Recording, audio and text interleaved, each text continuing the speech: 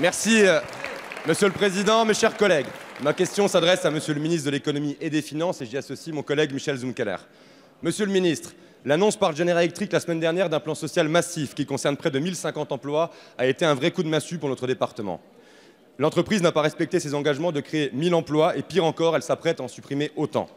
Les conséquences sur l'économie, sur les sous-traitants, les artisans et les commerçants sont considérables dans un département de 150 000 habitants et sur un site industriel vieux de 140 ans. Ce plan social n'est pas acceptable. Vous êtes venu ce lundi à Belfort, Monsieur le ministre, pour rencontrer sur le site de GE les représentants des salariés et les élus locaux au cours d'une réunion que je qualifierais de constructive et au cours de laquelle chacun a pu développer ses analyses et proposer des solutions à cette situation. GE communique depuis plusieurs mois sur l'absence d'avenir du marché de la turbine à gaz, qui est certes en baisse, mais qui connaît une activité cyclique et qui pourrait être en phase de rebond très prochainement, notamment parce qu'elles sont utiles pour compenser les pertes de charge des énergies renouvelables. Or, autant de suppressions de postes mettent en danger les sites de Belfort et de Bourgogne en raison de la perte des compétences et de savoir-faire. Nous redoutons que GE cherche à faire disparaître l'activité turbine à gaz du site de Belfort pour la délocaliser ailleurs, bien loin des attentions affichées d'adaptation au marché, et ce n'est pas acceptable.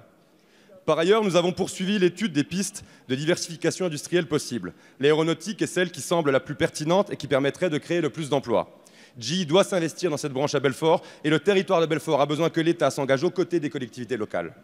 L'hydrogène est également un débouché d'avenir sur lequel notre département est déjà très avancé et que l'État, par votre intermédiaire, peut nous aider à développer. Monsieur le ministre, vous l'avez compris lors de votre visite, L'ensemble des acteurs locaux est prêt à travailler et à s'engager à vos côtés pour garantir l'avenir industriel du site de Belfort. En 2014, lorsque le PDG d'Alstom a voulu fermer l'usine, l'ensemble de la population s'était retrouvée dans la rue pour dire non. L'État s'était engagé à nos côtés. L'usine n'a pas fermé et aujourd'hui, elle recrute à nouveau. Le samedi 22 juin prochain, Belfort se mobilisera à nouveau aux côtés des salariés de GE pour défendre notre savoir-faire et nos emplois. Soyez assurés que nous ne lâcherons rien. Aussi, Monsieur le ministre, ma question est très simple. Comment l'État compte s'engager à nos côtés? Merci, monsieur le député. La parole est à monsieur Bruno Le Maire, ministre de l'économie et des finances. Monsieur le Président, Mesdames et Messieurs les députés, Monsieur le député Yann Bouka, je partage totalement votre appréciation. Le plan social de GE n'est pas acceptable en l'état. Et je veux saluer votre sens des responsabilités personnelles celui du maire de Belfort, Damien Meslot, celui du président du département, celui de l'ensemble des élus locaux et celui évidemment des représentants syndicaux qui se battent pour que J clarifie ses intentions sur le site de Belfort. Il n'est pas acceptable parce que le nombre de salariés concernés, plus de 1000, est trop important. Et il n'est pas acceptable, comme vous venez de le dire, parce qu'il faut que J clarifie ses intentions.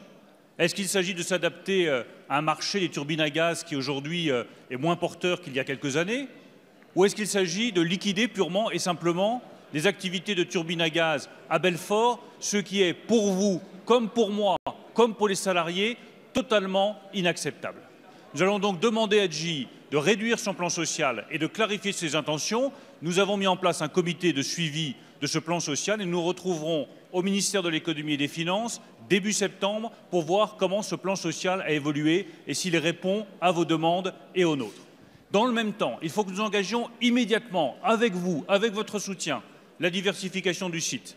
Il y a des possibilités sur euh, les centrales nucléaires.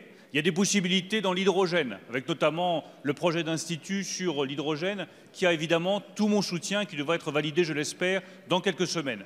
Et puis il y a un projet aéronautique particulièrement porteur, je le redis, pour chaque euro que GE Aeronautics mettra dans ce projet sur le site de GE Belfort, l'État apportera un euro d'argent public pour diversifier l'activité industrielle de Belfort. Nous travaillons tous ensemble, nous sommes engagés collectivement pour assurer l'avenir industriel de Belfort. C'est comme cela que nous réussirons et c'est comme cela que nous ferons évoluer GE. Merci, Monsieur le Ministre.